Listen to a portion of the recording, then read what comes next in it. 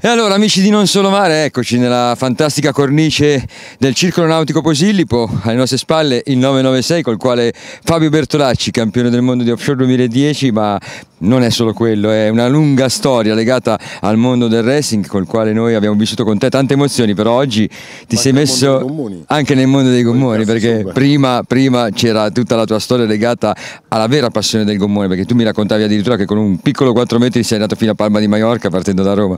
Beh, diciamo che non era un piccolo 4 metri, ma erano una serie di persone con una serie di equipaggi, in tutto mi sembra che erano una decina, con un 4 metri e 70 che era il gommone più piccolo, fino a- al 7 metri e mezzo che era il gommone più Da lì è grande. iniziata la tua passione. No, no, no, la mia passione è nata con mio padre, che, che ti dicevo appunto prima quando eravamo nel golfo lì, quando stavamo per entrare nel golfo di Napoli, che facevamo i ride di Natale, io non ero un appassionato di gommoni, anzi era la disperazione di mio padre che diceva ma come i tuoi amici vogliono venire con me e tu non vuoi venire? E invece noi eh, col tempo poi mi sono appassionato, è nato tutto con il gommoni, con i viaggi d'avventura, i Roma Tunisi, i Roma Isole Baleari e tanti altri ho- con dei piccoli gommoni perché era la storia del gommone con la chiglia pneumatica. Oggi andiamo con gommoni di 10 metri in vetro resina quindi voglio dire è un altro andare per mare rispetto a quella che mi ha tramandato mio padre e che poi io naturalmente ho vissuto un'evoluzione bellissima perché oggi il gommone è un mezzo come l'abbiamo potuto vivere noi oggi 57-58 nodi tenuto circa 50 di media. c'è 50 di media, ci siamo fermati ogni tanto perché ogni tanto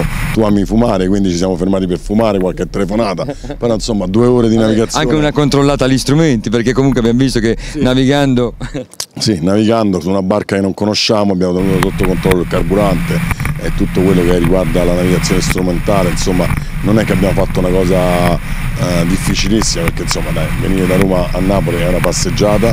eh, adesso degli amici di Napoli appunto era un modo per far capire quanto è bello navigare anche fuori stagione. Adesso siamo già quasi a fine ottobre, siamo già a metà, di- metà ottobre avanzata, è una giornata fantastica, il mare devo dire ci ha accompagnato in maniera piacevole anche se poi c'è stato quel tratto da San Felice Circeo a arrivare qua che c'è stato quel momento insomma di un po' di mare l'abbiamo preso. però ti fa male la schiena. No, no, no, però, però ho visto che insomma mi hai detto che eh, quello era.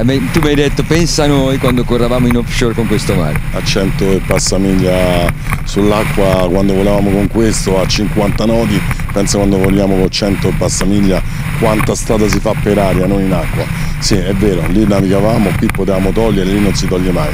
Però ritorniamo alla nostra navigazione a questa bellissima esperienza che mi hai fatto rivivere. Anzi ti ringrazio per avermi invitato a portare giù questo gommone un gommone eh, 996 è un gommone veramente eccezionale sotto le sue doti marine un'ottima carena. E come ti dicevo prima per quanto riguarda questa nuova motorizzazione questa coppia di 350 eh, brillante ma decisamente paurosa perché lo immagino in mano a un principiante, un neofita, eh, può diventare un oggetto un po' impegnativo da, da guidare, non impossibile ma molto impegnativo. Sono convinto che si potrebbe fare una navigazione più tranquilla nonostante eh, si cali un pochettino nella motorizzazione. Noi ti abbiamo chiamato, io ti ho chiamato apposta parlando con Annalisa, ho detto dopo che il 996 con 2 da 200 cavalli ha attraversato l'Oceano Atlantico con Sergio Davi che è andato a una media di 18 nodi, no? e comunque quel gommone faceva già 40 nodi tirando la manetta con 2 da 200, ho detto chiamiamo Fabio Bertolacci e proviamo invece il top, eh, le 2 da 350 Suzuki che danno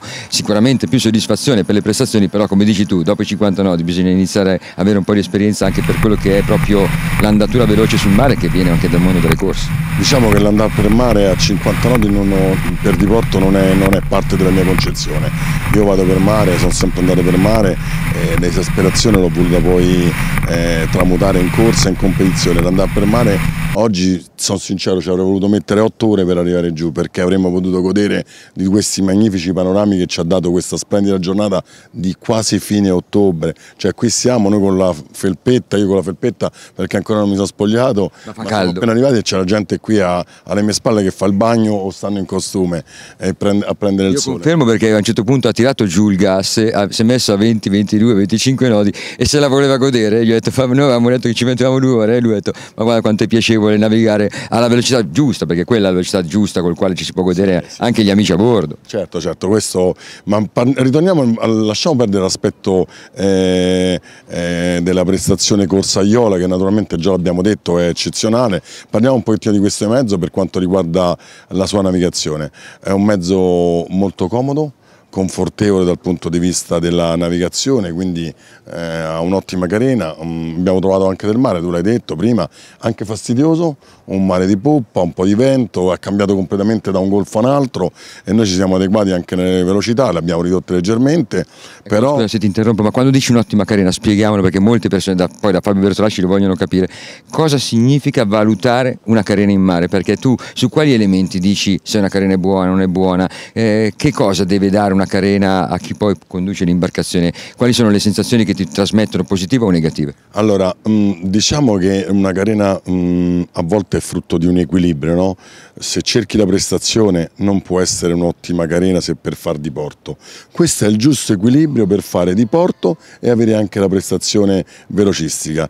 Mi spiego meglio, se tu cerchi una carena che abbia eh, la facilità nell'andare in planata, eh, eh, bassi consumi, è una carena un pochettino meno AV, meno esasperata dal punto di vista della prestazione con l'impatto sull'onda. Questo abbiamo visto che siccome abbiamo incontrato due tipi di mare diverso, che si comporta in maniera assai brillante se viaggi a pochi nodi quindi vuol dire che tu hai una certa portanza, è, un certo, è il giusto equilibrio. Cioè, è un compromesso ideale per il diportista. È il giusto compromesso della, della, della, di una carena sportiva che non è l'over the top de, se tu la devi poi trasformare in una se adesso togliessimo tutto e diventa un comune da corsa ovviamente farebbe la sua porca figura tra virgolette magari potrebbe avere qualche problema in più se contra eh, determinate condizioni di mare cioè una carena non può essere ottima per tutti i mari diciamo che i giusti equilibri eh, sono quelli che servono per poter fare poi il, il diporto. Questo comune non nasce con velleità eh, corsaiole, l'abbiamo fatto diventare noi con due, motor due motorizzazioni da paura, però eh, è finita a un, a un, soggetto che tra l'altro tutto farà fuorché le corse, farà il diporto, quindi voglio dire ehm, è un ottimo comune sotto quei punti di vista. Ha naturalmente come tutti i comuni alla loro prima eh, uscita eh, dei piccoli accorgimenti che poi tra l'altro eh, quando sono così grandi vengono disegnati appunto come parlavamo prima con Annalisa per il proprietario. Noi siamo leggermente più alti del proprietario quindi quella ruota di governo posizionata un po' troppo bassa per me è ottima per eh, il neo, il neo acquirente quindi voglio dire...